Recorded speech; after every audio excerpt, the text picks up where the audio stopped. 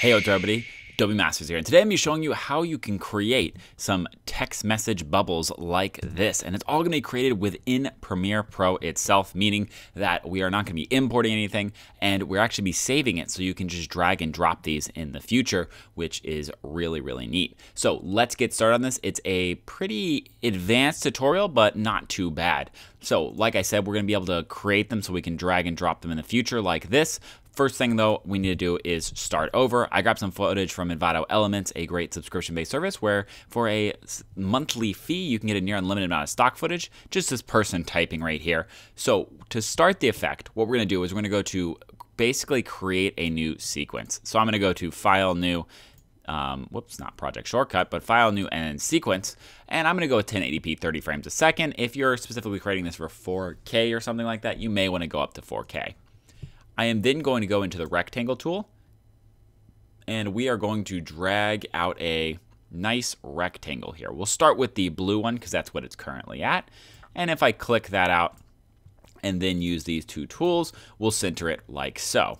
We then want to go over in the Essential Graphics panel. We have our shape up here. Let's just give it a name so we don't confuse it throughout this. It is the bubble. We're going to drag this rounded edge up until it looks good. It's an artistic choice right here. I'm going to go right around maybe 95. We want to then go and actually create that little out indent area. So to do that, we're going to go click on the, the shape layer, go to the left side into our effect controls, and we're going to look for that shape bubble. And then we're going to click on the path and then click on this. And that's going to allow us to then grab this and you might need to zoom in for this. You can see that it's a little rough to get that plus button, but right when you get it, we want to grab a new point and we're going to grab that point outwards like so. Right now it is kind of rounded. If we click on this and then the edges here and bring them in a touch, what it will do is it'll make them nice and pointy. And we will then go ahead and delete that extra click right there. And what we have is a nice working bubble. Now, we need to do a couple of things with this. First off, let's make it so that it's 10 seconds long. It's a good time um, for whatever your frame is. We need to then go down into the opacity of this shape layer itself and bring this down to about 80%. That's going to allow it to be see-through whenever we add it over. So next step, what we're going to do is we're going to animate this in. So we're going to click on this. We're going to go to the overall, we want to go to the vector motion right here. We're going to scale this at 0% to start. Go forward about eh, 10 frames or so. We're going to scale this up and you're going to notice something. We're coming from the center here. That can work, but let's go ahead and change that around. If we go to our anchor point and drag that to the bottom right, right where this is coming out, it's going to have it come from there. So let's go back to our animation here. We started at the zero, we went to the 100, and we're just going to drag this up until it just reaches the edge of the screen, move forward two frames, go back to 100, and we have created a neat little transition or uh, a nice animation like so. Now, if we want to make it a little bit more um, smooth, we can right click on this, go to Bezier, and then we can actually drop this down here. And if we pull this in just a little bit and maybe, you know, out a little bit, we can have some fun with it. And you can see now it sort of stretches and comes in. And I like the look of that. So we're going to keep with that. Okay, so we've gotten the first two steps done. Let's now add some text in. I'm going to just click on the text tool and we're going to start typing right here. So, hey, how are you? Now, what we need to do is we need to make sure that this text A fits inside the bubble and it looks good. I think that maybe, let's see, maybe it just needs to be a little bit smaller. So we're going to drag this down just a little bit and then center it like so. And yeah, that's looking pretty good. Now, right now it's attached to everything. We kind of want it to have its own sort of character where it, it wipes in like you're typing. To do that, what we're going to do is we're going to need to actually create ourselves a group. So why are we creating groups here? Well, this allows us to take the, and I'm going to name this to text.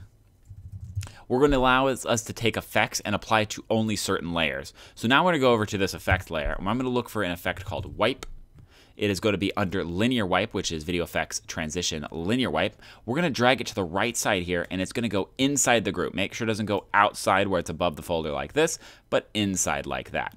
We're then going to go to our wipe angle. We're going to change it to 270. This will allow us to create a left to right transition like so. We're then going to start at 100% here. So once the animation is done, right about there, we're going to start it at 100%. And, you know, however long you want this to be. I'm holding the shift key here to jump a few frames, uh, five at a time if you hold the shift while you click this. And that's a nice speed. So we've got the it coming in and then it writing. The last thing we need to do is we need to go back to our type tool and if you would like to add that thing at the top where it you know tells you the time everything's texted, we can do that right here. So we're going to just say Josh 3:05 p.m. We're going to drag that over here. Now, actually what we're going to do here is we're going to take the Josh and we're going to make it right centered. The reason we're doing this is that in the future we're going to change the name to something like, you know, Jessica or, you know, Joshy with a EY, it doesn't move the time around. So it makes it so that it is a um, easier to work with. And we don't have to keep reorganizing it, and it'll make it more consistent as well. This is a little bold. I'm going to switch this down to regular. Again, these are all your artistic choices, what fonts you want everywhere. So we have that now. Last thing here is I don't like it to come in with the text like that. So we're going to have it right when this begins writing. We're going to go to that Josh text. We're going to go down, scroll down over here to that opacity, make that 0%, go forward a couple frames, bring it back up to 100%, and now what we have is, actually that didn't work. Why did that not work? Oh, we forgot to turn on the little timer here. So right when this is starts animating, you need to click that stopwatch, start at 0%, go forward a couple frames, bring it up to 100%. And now we have our animation and it is looking great. So we have our animation. Everything looks good on it. We are now going to go ahead and well, we need to export this. So what we can do here is to export this, we want to take our footage and we want to take uh, right click it like this and go to export as motion graphics template like so. We're then going to look for, uh, let's name this one because I've, I've created this a few times now. I'm going to name this new blue text and click OK. It is going to export it. And the thing is, though, we still need a green on the other side. So to do that, what we're going to do is keep this open right here, the sequence here, because we've, we've saved it now. It's, it's ready to be used in the future. We need to create another group here. We're going to create a group and it's going to be named the bubble. Now, in this bubble group, we're going to look for an effect, and this is sort of like just a little a little hack here. It makes it way easier for us to flip this. We're to go horizontal flip. We're going to drag and drop that inside, and boom, we're now on the other side. Now, this one isn't perfectly centered, so we just need to take the text and move it over a little bit. And now you're going to see that it's looking great.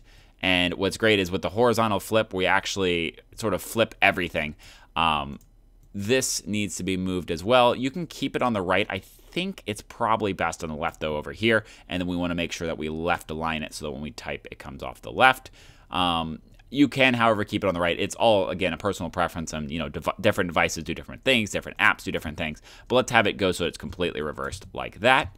Last thing we need to do, we need to change this color. This is supposed to be a green one go to our effect controls on the left side over here. We are going to look for that bubble, that shape bubble drop that down, change this color to really anything you want. A green works, you know, it's it's your thing. You can make it red or a purple or a blue. We're just going to go with a nice light green though, maybe right about that color. Yeah, looks good to me. And then we're going to right click on this and we're going to export this as a graphics template and it's going to be new green text. Okay, so now we have created both of them. Let's go back to our original sequence right here. We're going to go to browse. and You're to see I have a lot of them, which is why I created the new ones. I'm going to start off with this blue text, drag and drop that on. And you're going to notice that it's going to be way too big for what we want to do here when we actually get it in here. Whoops, did not actually import that, so let's try that again. There we go. Uh, actually, no, we want the blue one, right? So we want to go to Browse, New Blue Text, drag and drop that down. And funny, I don't think it's saved properly, so give me one second and I'm going to save it properly. Okay, so we're back. That was a little bit of a glitch on Premiere Pro's part. Um, it was not actually saving the blue properly for some reason. But anyway, here it is. So we're going to take this. We're going to click on that. We're going to go to the scale at the bottom here. We're just going to scale this down And you can use the position markers right here to move it where you want. So I'm going to go right up to here. Hey, how are you? We then go back to our browse and we're going to look for our new green text, drag it up right about here, and it's going to pop up really large as well. Now, since these were duplicated, what we can actually do is this is a scale of 37, which means this new one can also be a scale of 37, and they will be identical. Drag this one on over so that it lines up. And there we go. We now have text messages that are coming up. If we want to change the text, it's all right here. So doing good. And then like that. And then, you know, this is probably from someone else, not Josh. So we change that around as well. Jessica. And boom, we have a completely created and beautiful text message scenario in Adobe Premiere Pro. Thanks everyone joining me. If you have any questions or comments, throw them in our comment section below at our website, adobemasters.net. If you like some videos similar to this one, go ahead and subscribe button. And until next time, everyone, see ya.